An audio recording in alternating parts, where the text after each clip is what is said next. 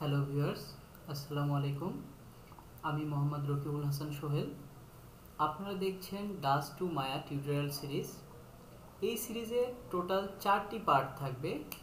প্রথম পার্টে আমরা দেখব যে অ্যাসেটস ইনস্টল, যেখানে আমরা ডাজে আউটসাইড অ্যাসেটস, অর্থাৎ ডাউনলোড করা কোনো অ্যাসেটস বা কন্টেন্ট কীভাবে ডাজে ইউজ করতে পারব।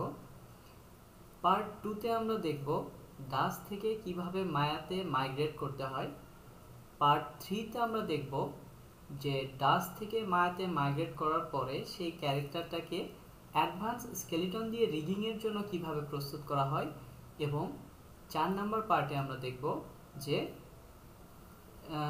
অ্যাডভান্স স্কেলিটন দিয়ে রিগিংয়ের জন্য রেডি করার পরে সেটাকে অ্যাডভান্স স্কেলিটনের মাধ্যমে কীভাবে বডি রিগ করতে হয়?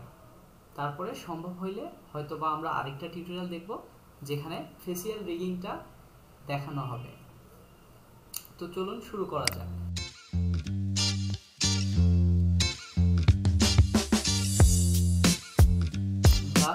সফটওয়্যারটা ওপেন করলাম, আমি ব্যবহার করছি four point one two pro ভার্সনটি সফটওয়্যারটা ইনস্টল করার পরে আপনি যখন ওপেন করবেন, তখন অনেকটা এরকম দেখাবে এখানে কোনো প্লাগ বা কোনো কিছু ইনস্টল করা নেই।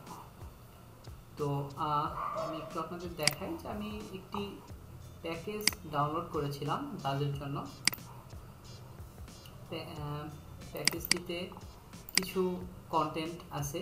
যেমন কয়েকটার ভিতরে আমি যে কোনো একটা যদি ওপেন করি সাপোজ এটা ওপেন করলাম, এখানে কয়েকটা ফোল্ডার আছে।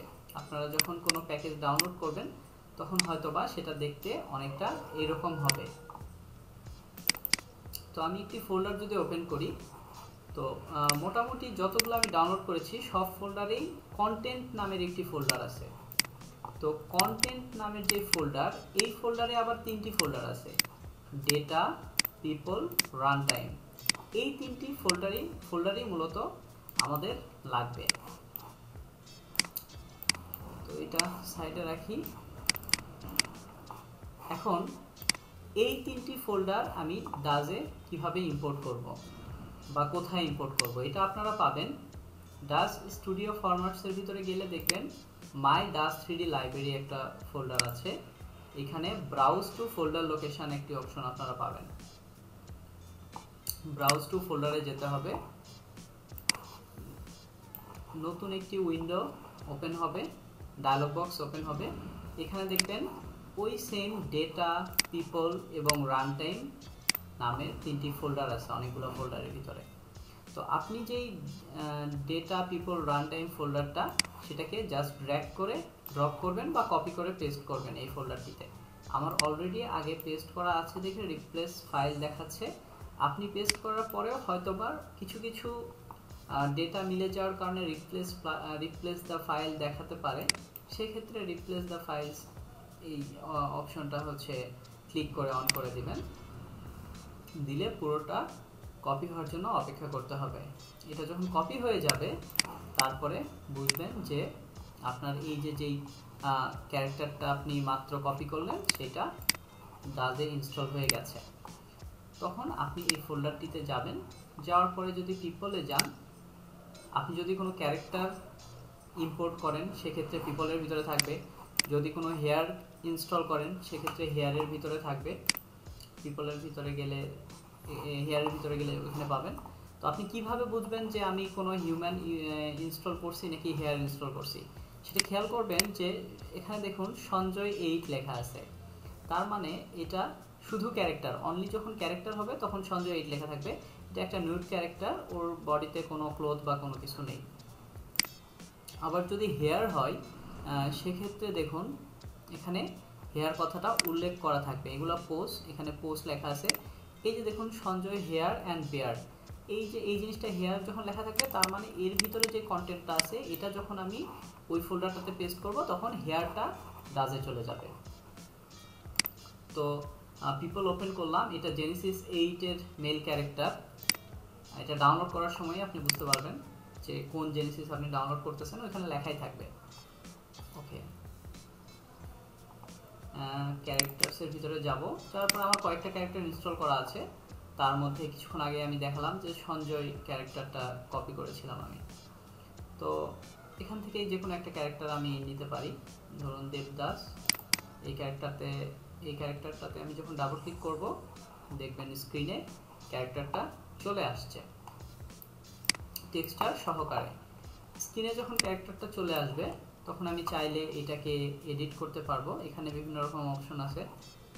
আমি একটা ক্যারেক্টার থেকে আর একটা ক্যারেক্টার বানাইতে পারব। ওর চেহারা চেঞ্জ করে বা বডি শেপ চেঞ্জ করতে পারব। এইভাবে এখানে মডিফাই করা যায়। একটি বৃদ্ধ লোকের ফিটনেস দেওয়া যাবে। কারণ আমার একটি বৃদ্ধ দুই তিনটা বৃদ্ধ লোকের বডি এখানে ইনস্টল করা আছে। যাই হোক, তো এটা একটা একদমই বেসিক ক্যারেক্টার তো দেখা যাক কোনো ক্লোথ আছে কি না ক্লোথ হেয়ার হেয়ার হ্যাঁ হেয়ার আছে আমার কাছে। এই হেয়ারটা ড্র্যাগ করে ছেড়ে দিলাম। তাহলে দেখুন হেয়ারটা কিন্তু চলে গেছে। এরপরে হচ্ছে ক্লথ কাপড় যদি অ্যাড করতে চাই ওকে কাপড় অ্যাড করে দিতে পারব যে কোনো একটা জায়গায় ড্র্যাগ করে ছেড়ে দিলেই হবে। ওকে এটা আচ্ছা কোনো কিছু যখন আমি ড্র্যাগ করে এখানে ছাড়বো, তখন কিন্তু সেটা আনডু করা যায় না। তো এটা ডিলিট করার ওয়ে হচ্ছে জাস্ট এখান থেকে, যদি আপনার কাছে মনে হয় যে ঠিকঠাক নাই সব কিছু এখান থেকে ডিলিট করবেন। সিনের ভিতর থেকে সিন জিনিসটা অনেকটা আউটলাইনারের মতো। ডাজে আন্ডু করেছিলাম, ওই যে বডিটা যে আমি এডিট করছিলাম, ওইটা আন্ডু হয়েছে। আন্ডু হয়ে মানে ওইখানটায় গেছে আর কি।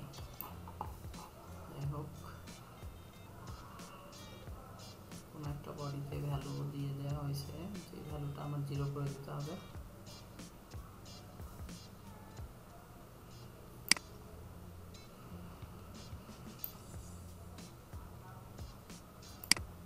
আচ্ছা এইটাতে জিরো করে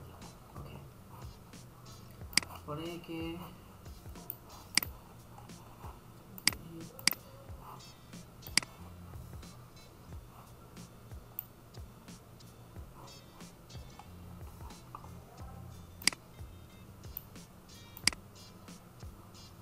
পোশাক পরানোর পরে কিছু কিছু জায়গা আপনারা খেয়াল করলে বুঝবেন যে কিছু কিছু জায়গায় ঠিক মতো স্কিনটা বসে নাই, কিছু কিছু জায়গায় বের হয়ে আছে। এইটা ফিক্স করা হচ্ছে আপনি এখান থেকে একটু অ্যাডজাস্ট করে এটা ফিক্স করে নিতে পারবেন বা যদি তাও না হয়, তাহলে অসুবিধা নেই, আমরা মায়াতে নিয়ে এটাকে ফিক্স করতে পারব, কোনো ব্যাপার না। কিংবা আপনি চাইলে আবার অন্য কোনো পোশাক ট্রাই করে দেখতে পারেন যে সেটাতেও সেম প্রবলেম হচ্ছে কিনা। আচ্ছা এটাতে কিন্তু আবার ওই প্রবলেমটা হচ্ছে না। অন্য আরেকটি পোশাক আমি ওকে পরে দিছি এটাতে প্রবলেম হচ্ছে না। তাহলে হয়তোবা কোনো কারণে এমন হইতে পারে যে এই পোশাকটা ওর বডিতে ম্যাচ করতেছে না, আরেকবার ট্রাই করে দেখি।